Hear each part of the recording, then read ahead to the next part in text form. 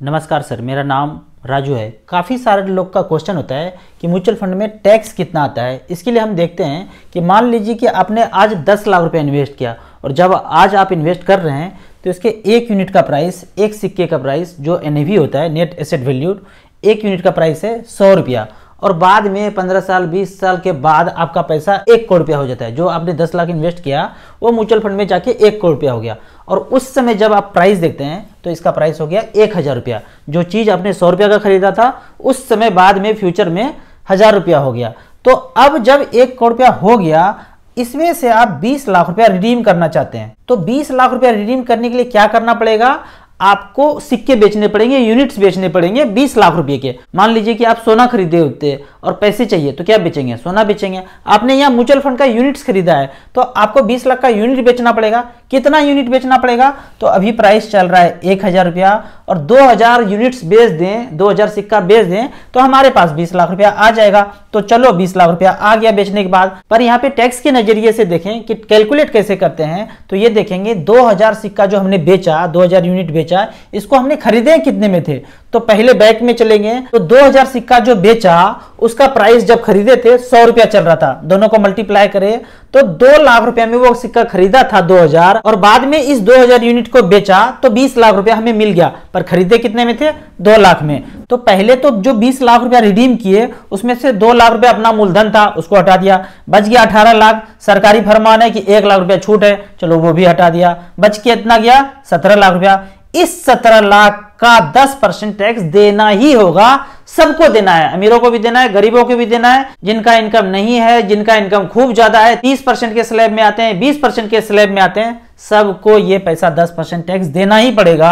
तो 17 लाख का 10 परसेंट एक लाख सत्तर हज़ार रुपया होता है। ये टैक्स आपको देना ही देना है। आप 20 लाख की जगह 50 लाख रुपया रिडीम कर रहे हैं 60 लाख रिडीम कर रहे हैं, पूरा का पूरा रिडीम कर रहे हैं तो इसी तरह से कैलकुलेट होता है कि जब आप बेच रहे हैं यूनिट देखना है कितने में बिक रहा है और खरीदे कितने में थे, दोनों को माइनस करेंगे, एक लाख रुपया माइनस करेंगे, जो बचेगा उस पर से दस परसेंट टैक्स देना है। पर इस टैक्स से किसी को दुखी नहीं होना चाहिए। मैं आगे समझाता हूँ। मान लेते हैं कि मार्केट में टोटल 200 लाख करोड़ है और 200 लाख करोड़ में से 20 प्रतिशत ऐसा पैसा है जो मार्केट में एक साल के बाद निकालते ही निकालते रहते हैं। एक साल के पहले निकालते हैं तो short term capital gain tax देना पड़ता है फ्लैट 15 परसेंट। एक साल के बाद निकालते हैं तो long term capital gain tax देना पड़ता है दस परसेंट। जैसे कि मैंने ऊपर कैलकुलेशन बताया, हम अभी बात करते हैं long term capital gain tax का। एक साल के पहले पंद्रह परसेंट देना ही देना है, इसमें कुछ कैलकुलेशन करने का ज़रूरत नहीं है। जितना गेन हुआ, उस पर पंद्रह परसेंट टैक्स देना है। एक लाख रुपया माइनस माइनस कुछ भी नहीं होगा यहाँ पे, पंद्रह परसेंट टैक्स देना है। एक साल के बाद ये जो नोटंकी कैलकुलेशन कर रहा हूँ, ये long term capital gain tax के लिए अब मेरा ये कहना है कि मान लीजिए कि 200 लाख करोड़ में 20 प्रतिशत ऐसा पैसा है जो हमेशा एक साल के बाद खरीद बिक्री गेन करते रहते हैं। तो 200 लाख करोड़ का 20 परसेंट कितना होता है? आप कहेंगे, राजू भैया, ये तो बहुत बड़ा फिगर है, हम नहीं बता पाएँगे। चलिए, आप दो सौ का 20 परसेंट बताइए कितना होता है। तो हाँ ये तो बड़ा आसान है। 200 का 20 परसेंट हो गया, चालीस रुपया। तो चलिए ये जो लाख करोड़ सटा हुआ है, यहाँ सटा दीजिए। कितना हो गया? 40 लाख करोड़। यदि यहाँ पे घोड़ा लिखा होता 200 घोड़ा का 20 परसेंट कितना होता है? तो 40 घोड़ा। यहाँ पे लाख करोड़ सटा हुआ है तो लाख करोड़ यहाँ भी लगा दिया। तो 200 की फिगर को देखा 20 परसेंट निकाला, कितना हुआ? 40 जो सटाए वो सटा दीजिए। तो 40 लाख करोड़ ऐसा पैसा है, जो एक साल के बाद लोग खरीद बिक्री करते रहते हैं, गेन करते रहते हैं। ऐसा हम मान के चलते हैं, एग्जैक्ट फिगर नहीं है ये। ऐसा हम मानते हैं। तो 40 लाख करोड़ का अब 10 परसेंट लगेगा तो 40 लाख करोड़ का 10 परसेंट कितना होता है?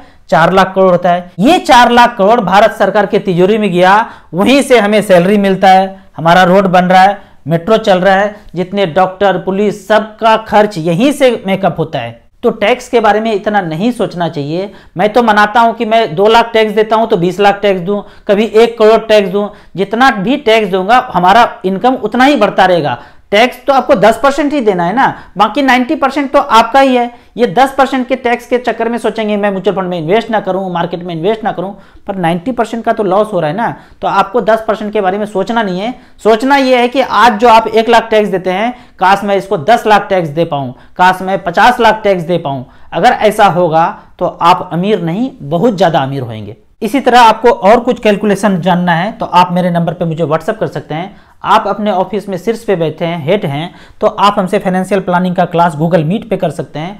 हमारे फाइनेंशियल प्लानिंग का जो क्लास होता है 30 मिनट से लेकर एक घंटा, हम फाइनेंशियल एजुकेशन के लिए कोई चार्ज नहीं करते हैं। आपको ऑनलाइन म्यूचुअल फंड में इन्वेस्ट करना है तो लिंक में जाके आप म्यूचुअल फंड का अकाउंट ओपन कर सकते हैं और आप हमसे डायरेक्टली जुड़ सकते हैं। वीडियो अच्छा लगे तो लाइक एंड सब्सक्राइब ज़रूर करें।